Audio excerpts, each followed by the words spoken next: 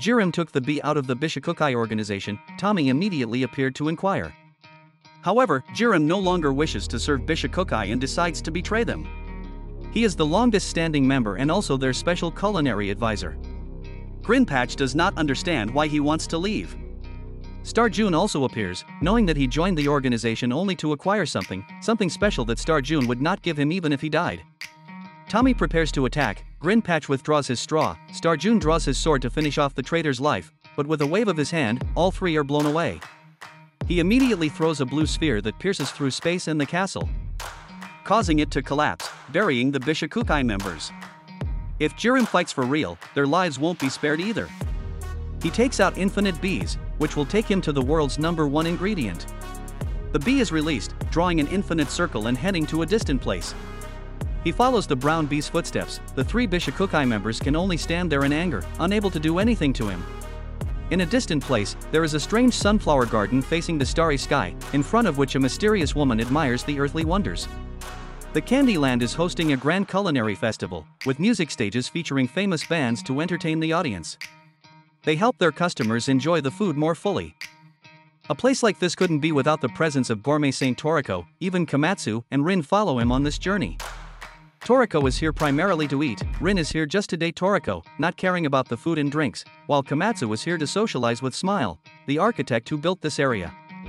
Although this Candyland is meant for eating, thanks to Toriko's eating power, it's at high risk of early closure.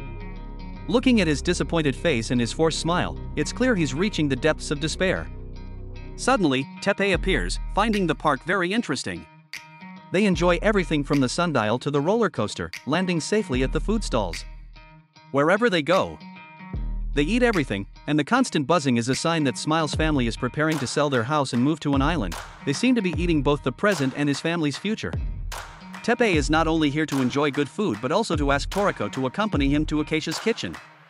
Toriko is shocked, this is Igo's closed sanctuary, known only to high-ranking Igo members. It's the former number one sanctuary with the nickname Acacia's Kitchen. Teppei's master investigated this sanctuary, rumored that Acacia left behind his special menu and ingredients to make it there. It's a legendary menu that can fill the hearts of those who have just broken up. They board a plane. And the pilot of that flight is Tomu. On the flight, Toriko is confident that he will devour the legendary menu. Tina is reporting the latest news from the gourmet wholesale and retail market. As soon as the news ends, she eagerly collects new information. The director's appearance frightened her to death. Normally, this boss would play around with her in various ways, but this time she's out of time and he's still here to criticize her? The director orders her to go to the library to look for some documents. While badmouthing her boss, she sneezes, slips, and falls to the ground, causing several bookshelves to collapse along with her. To clean up this mess, she might as well clean until she dies. In the midst of misfortune, she finds a stroke of luck as she picks up a photograph. In that picture, Setsuno is standing next to a mysterious woman. With her experience, she knows for sure this photo will lead her to sensational news. Everyone is excited for this trip as they're getting closer to Acacia's legendary menu. Suddenly, Tomo speaks up. Perhaps he needs to get additional insurance for this beloved helicopter. Ahead of them is a huge storm, swallowing everything around it. This is one of the seven wonders of the gourmet world, the Hungry Triangle, resembling a gourmet pyramid. Any ship or plane entering the area between the three points will immediately disappear from the map. As if the ship had been swallowed by the sea. That's why it's called the Hungry Triangle. But Acacia's kitchen is located in the center of the Hungry Triangle. Upon hearing this, Komatsu wants to jump out of the plane and escape. Everyone fastens their seatbelts, which startles Komatsu, while Tomo accelerates the helicopter to pass through the vortex outside. Just as they enter, the airplane's clock breaks. Misfortune still hasn't let them go, monsters follow them, and Tomo transforms into a skilled pilot, maneuvering the plane to quickly escape from those monsters. Not stopping there, multi-headed snakes appear, fiercely attacking the helicopter, forcing Tomo to showcase his skills to escape the onslaught of demons. Just as they escape the monsters, thunderstorms approach, causing one side of the plane's wing to explode. Komatsu screams, and if Toriko doesn't tell him to shut his mouth, he might bite his tongue off. The plane loses control, spinning freely in the sky, and just then, a ray of hope appears to save Komatsu's life in this turbulent flight. They think they're safe, but a moment later, they almost perish as they crash into the wall in front. Luckily, with his professional piloting skills, Tomo maneuvers and saves everyone's lives, finally landing safely in the sea. The ship's door opens, revealing a beautiful scene, surrounded by a table cage, the island is shimmering under the radiant sunlight. Making Acacia's kitchen even more glamorous and beautiful. All four of them will sail to the island, while Toma will stay on the helicopter to wait for news from them, hoping they will bring back Acacia's famous menu for him to enjoy those legendary dishes. They've approached the island, but a major problem arises, the island is surrounded by a table cage, so they don't know how to get inside, there's no entrance. If there's no door, the only way is to hit hard to pierce through the protective layer. Thinking about it, Toriko throws a knife towards the table cage, but it doesn't even crack a bit. This reckless action worries Teppei greatly. What if a series of dangerous creatures burst out because he drilled a hole? Remember, this is the most dangerous sanctuary. Komatsu realizes something strange a creature easily passed through the table cage to get inside. He tapped a few times and then leaned in, causing him to be pushed inside. All four entered through that secret entrance. This place looks like a tunnel made of orichalcum shells, the muscle in the gourmet world, its shell is harder than diamonds. Exiting the tunnel, they arrived at an endless plain. Before them were countless flying creatures. Below the sea, rare fish species swam alongside beautiful coral reefs, embellishing the beauty of the ocean, while flowers bloomed abundantly. Fire dragons carried volcanic mountains on their backs. Thousands of ancient structures still existed, here, they all together formed an immensely magnificent island, the Acacia Kitchen. This is where all the rare ingredients of the gourmet world are gathered. Tina sought out Setsuno's restaurant to investigate the identity of the mysterious woman in the photo. Setsuno was ecstatic because after decades, her beauty hadn't faded at all. The identity of the mysterious woman was revealed to be a chef, Setsuno, and that person had trained together in cooking since they were young. Setsuno is a talented chef, considered a national treasure, whoever trained with her must be extraordinary too. Just then, the door opened, and the clown Zonga appeared, causing a ruckus in the restaurant as soon as he entered, so Setsuno refused to serve him, annoying Zonga. He and his entourage had gone through all the alleys of the town but couldn't enjoy any food because the restaurants here sold food at exorbitant prices. Therefore, he and his entourage thought that if they went to a small eatery, the food there would be cheaper and of good quality. Without money, he had to accept it. Tina was angry because Zonga was extremely rude to the national treasure, after which the two argued loudly, and Setsuno ignored them, smiling at the photo. The Toriko group continued their journey and encountered a cabbage garden. As soon as they arrived, everyone started picking and eating. Suddenly, a savanna dragon passed by, this species was extinct in the outside world. It was about to land when it was bitten by an electric eel, causing it intense pain. It bit back at the eel, making it let go. This eel emitted very strong electric waves. Perhaps it was the reason why the airplane's clock broke. Before them was an ancient ruin, all inscribed with ancient characters. According to the ancients, this place was the home of the Nitro. This dilapidated area, Acacia was the first to discover it. Initially, this sanctuary was established to study these ruins. Terry discovered a strange point on the top of the temple, which was the radiant sunflower garden. It stored sunlight and was also called the small sun. It is said that Nitro left it here, and this is the ingredient in Acacia's special menu. Komatsu was about to touch the flower when a strange noise occurred. Terry quickly grabbed Komatsu and took him to safety. A woman and a cat landed in front of them. She warned them to stay away from the flowers, threatening to attack anyone who dared to approach them. Teppei tried to explain that they were not enemies, suddenly, she noticed the infinite bee. The sky turned from blue to black, signaling an impending disaster.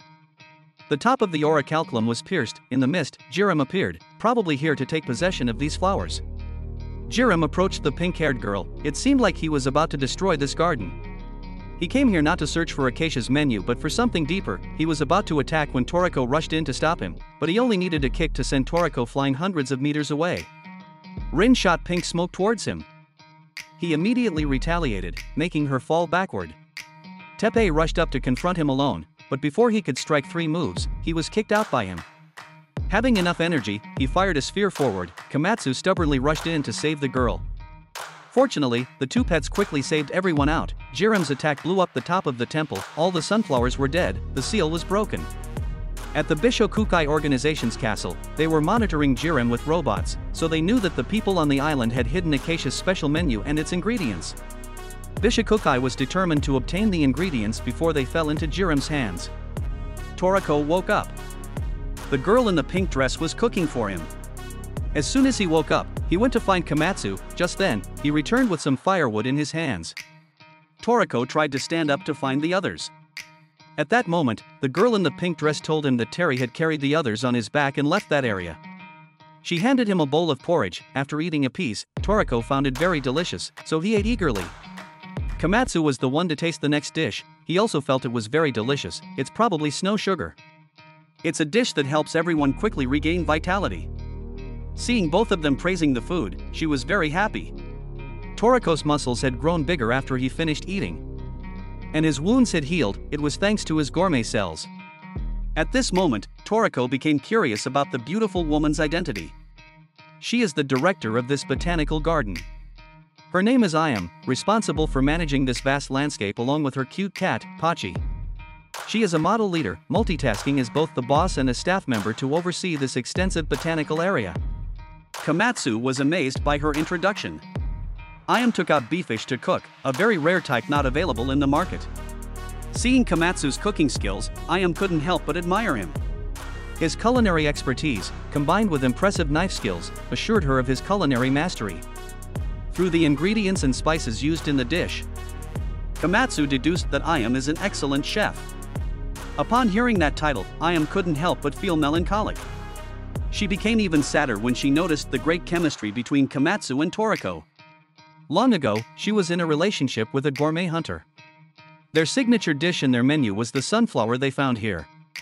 Thus, when the sunflowers bloomed in this botanical garden, she volunteered to take care of them, always believing that the person would return. But the worst happened. The ancient ruin on the island was the freezer created by Nitro.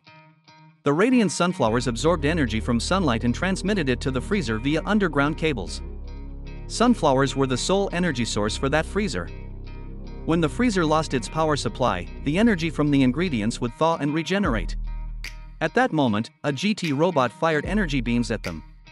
Toriko immediately prepared for combat. In front of him were three robots red, orange, and yellow. At this point, the acacia relic began to open, and the ingredients inside started to thaw. Rin and Teppei's team were being chased by a team of robots, but Rin quickly shot smoke towards them and escaped.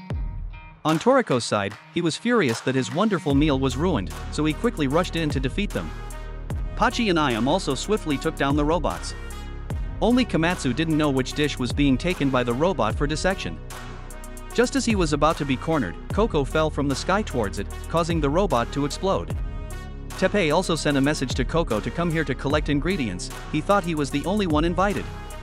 Teppei and Terry were fiercely fighting with several robots. Rin had just used a gun to shoot one robot when a purple robot suddenly rushed in. In a difficult moment, Sunny appeared from nowhere and defeated the robot. Princess Sunny stood gracefully on the mountain top. The battle continued, Toriko unleashed his ultimate move, sending the robot flying far away. Coco was chasing the orange robot, shooting poison towards it. However, the robot played dirty and pulled him down to the ground. Ayam was struggling in the battle, but Pachi came to throw her on his back and took her away. Just then, a robot hit her acupuncture point, and she immediately turned back into her 70 year old appearance, surprising Komatsu. The robots and Coco drew their swords, Toriko also bulged his muscles, preparing for his final move. Both sides clashed, victory or defeat was already determined.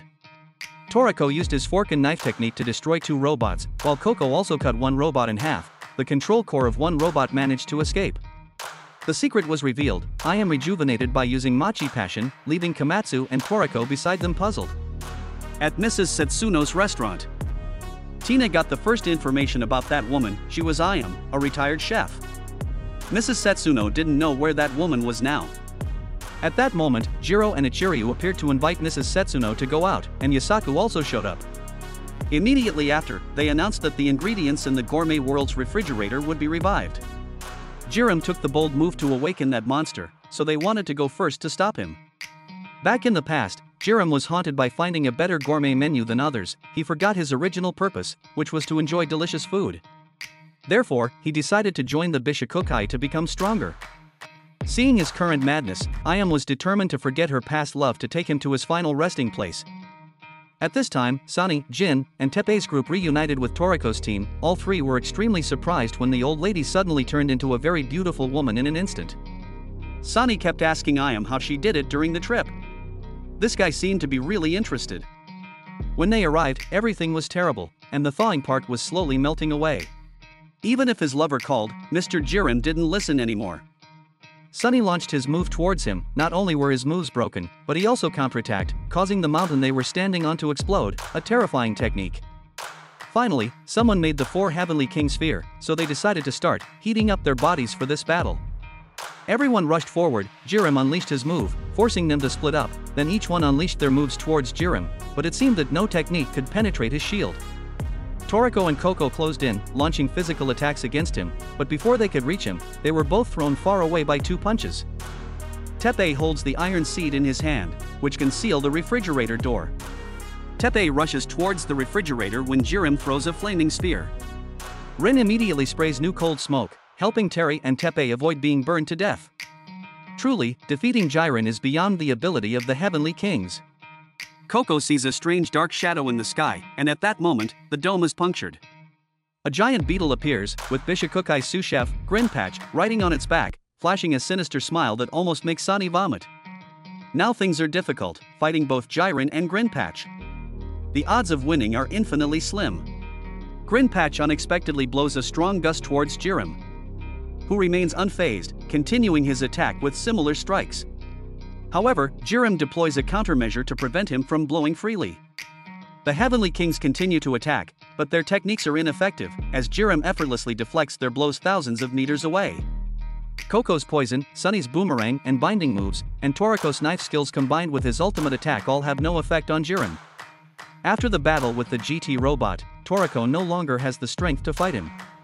He needs to eat something to restore his strength, and he hopes to consume Acacia's ingredient to regain his power and defeat the formidable Jirim. The thawing process is complete.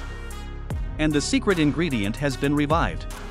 The body of the black dragon, with flames rising from its scales, is revealed. This is the legendary Wolffire Dragon. It is a mythical beast that has lived in the gourmet world for thousands of years, devouring everything in its path, even the strongest creatures are wiped out in an instant. The world is on the brink of apocalypse because of this monster, nicknamed Enlos. Even in his dreams, Teppei never imagined that the ingredient in Acacia's menu would be this Enlos creature. Jirim quickly approaches it, and Grinpatch, realizing the terrifying power of the dragon, recalls his pet and flees as fast as possible from the area. As the Wolffire Dragon prepares to engulf Toriko's group, Zebra appears, using his sound-based illusions to stop it, surprising Teppei with his appearance. How could he know to come here? Zebra just happened to overhear the news. With such delicious food, why keep a low profile? Did Teppei plan to monopolize this legendary ingredient alone?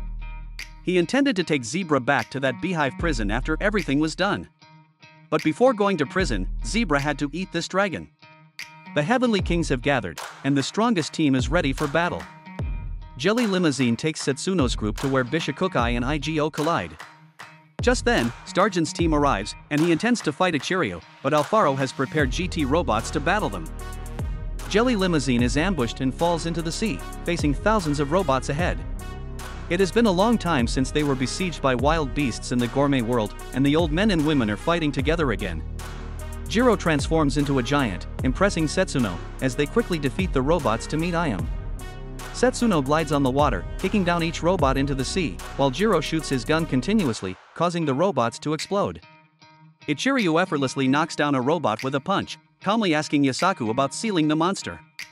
Yosaku assures him that he has imparted all his experience to his disciple and promises that his cherished disciple will be able to seal it. If he knew that Teppei had lost the seed, he would be very sad. The robots collide with each other like pinballs. Ichiryu concentrates his power into a punch, sending the robots flying far away, making them explode one after another in the sky. Toriko launches an attack towards Enlos, but despite being hit, it immediately regenerates and strikes Toriko with its long legs. Fortunately, Terry rushes in to rescue Toriko in time, plunging it hand deep into the roots and absorbing all the nutrients from the tree. Sunny attracts its attention, using Hair Punch to attack the dragon, but it uses all its strength to block and retaliates with Sunny's own technique, hitting Sunny squarely. Coco swiftly runs like the wind. Climbing onto the dragon and using Poison Sword to strike Enlos, but it remains unaffected. With a single kick, the dragon sends him back to the ground. Next, Zebra unleashes a Sound Thunder, but none of their attacks seem to harm Enlos in the slightest. Terry and Pachi approach the prey, each biting Enlos once. Ayam unleashes a knocking technique on the Wolffire Dragon's head, causing immense pain. the dragon flings all three of them away. At this moment, the Heavenly Kings realize their true powerlessness against a beast capable of destroying the world. The sinister shadow is still pursuing them. Zebra realizes they still have a chance to win, the fluid flow in its body is disturbed. So there's a vulnerable spot, where I am struck. The Heavenly Kings summon their gourmet demons, which tightly restrain the dragon. Zebra initiates the first attack, followed by Coco's poison missile, Toriko's knife, and Sunny's final move. All their combined techniques form a massive spearhead atop the dragon's head. The Heavenly Kings shout, and the spear plunges straight into Enlos's head, causing it to collapse.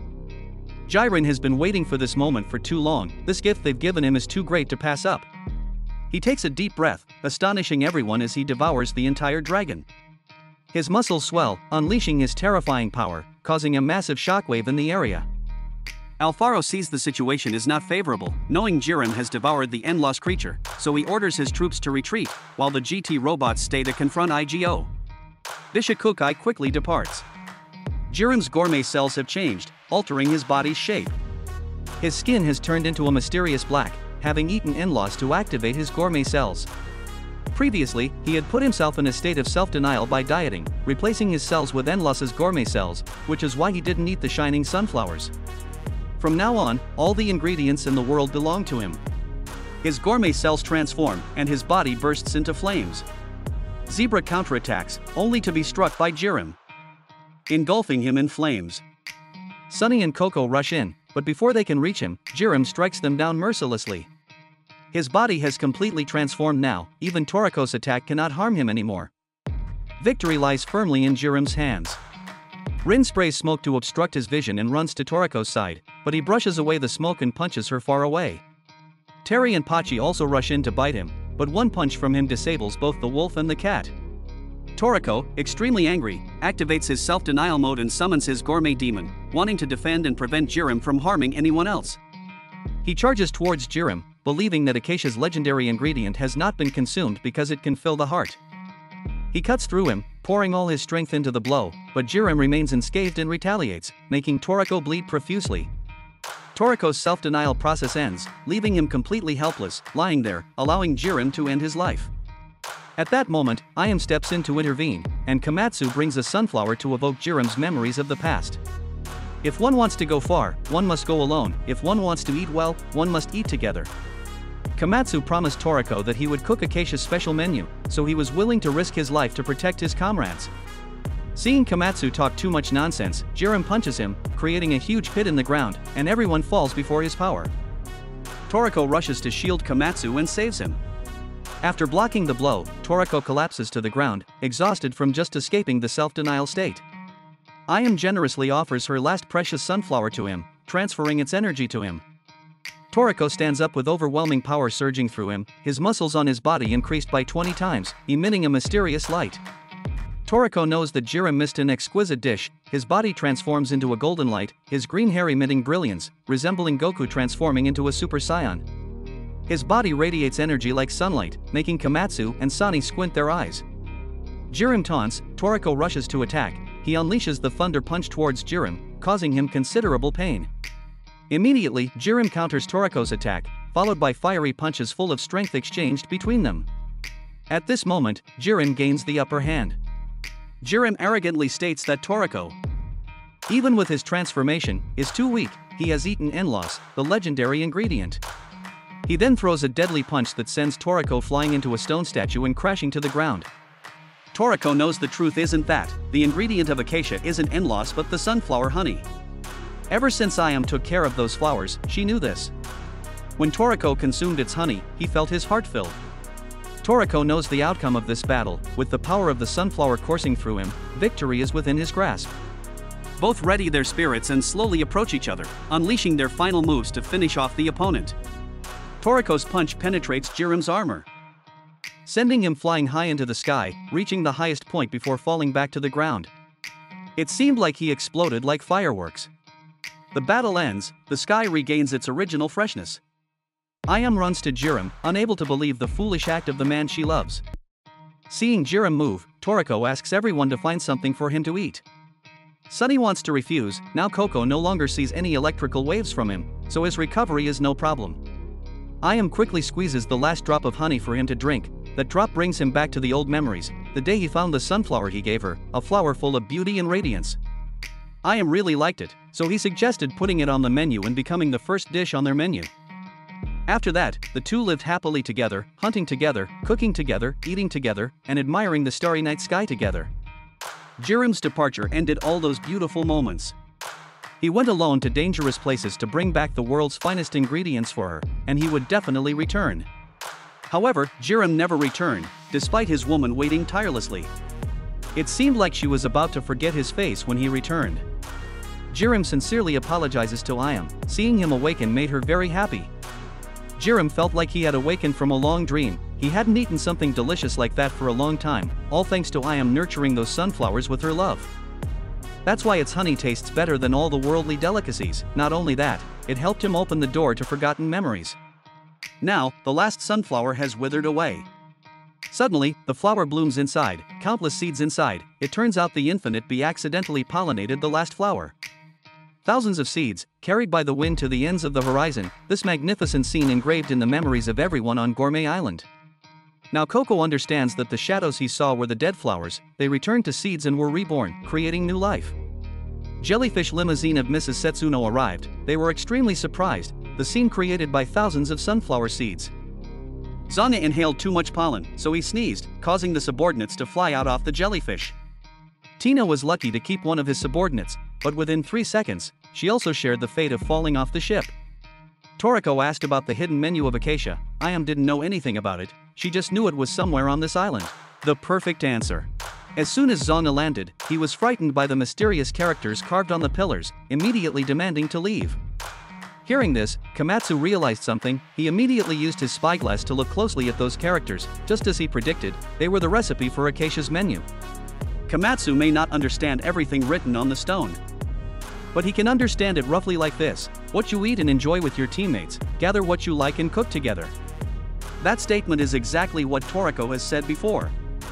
He can eat whatever he likes, even this entire island, it's just that when you like something, mix them together and you've created a special menu. Suddenly, an earthquake occurs, light emanates from the pillars creating a gigantic super oven, this is the true secret of the nitro-built monument. Right at this moment, Mrs. Setsuno's group arrives, they are very proud that their children have deciphered the mysteries in Acacia's menu. Setsuno reunites with Ayam after years apart, making Tina beside her emotionally almost cry. Jirim apologizes to Ichiryu for the troubles he caused, Ichiryu doesn't care about that, he only cares about his rumbling stomach. Ichiryu congratulates Toriko's group for uncovering Acacia's secret, which is cooking what is not on the chef's menu and enjoying it together with their teammates. Those dishes are just very simple things, but veteran chefs couldn't decipher those secrets for a long time. So he devised a perfect plan to bring the four heavenly kings in to help them decipher the secrets of Acacia's menu. Everything is clear now, it's time to get into the kitchen. They have brought back many rare ingredients rainbow carrots, red pepper, ground meat stone, the specialties from the Acacia Mountains are all gathered here. Can't wait any longer, Sunny and Toriko put the food on the oven immediately, Coco and Rin sprinkle pepper and sauce on the skewers, Zebra adds some chocolate, all the spices and ingredients are gathered on this wonderful dish. Everything is ready for everyone to enjoy. When Toriko takes a bite of meat, it's like bringing the flavor of the entire island here. Sunny is extremely happy to eat delicious food, quietly saying, oh my goodness. They are served many dishes under Komatsu's culinary artistry. Zanya has another chance to brag, if it weren't for his effort to find the formula in the rubble, there wouldn't be such a sumptuous meal. Hearing that, Komatsu immediately expresses his sincere thanks. Mrs. Ayam and Mr. Jirim are together like a newlywed couple, making Jiro and Mrs. Setsuno outside jealous and also deeply moved. When everyone eats together, the joy seems to double, everyone is happy to eat with their familiar teammates. Sunset is also the time for people to say goodbye to each other. Jirim wants to stay on this island to take care of the ecosystem with Ayam. Ichiryu, of course, does not object. Before leaving, everyone bids farewell without saying much, they can only promise to meet again soon. The ship takes off, taking them away from the beautiful island. Sometime later, the ecosystem has completely restored. Jirim holds Ayam's hand, taking her to the top of the temple, where the radiant sunflowers are blooming, that is the amazing ingredient possessing the power of the sun. Next to it is a creature with mysterious power that can bring people together, that is the infinite bee, it has brought the couple back together. Both of them seem to return to their youth, making up for the time they have been apart. From then on, they live happily together until the end of their lives. The video ends here, don't forget to like, subscribe, and leave your comments to support the channel. New anime series will be uploaded regularly on 21st Century Anime. Thank you.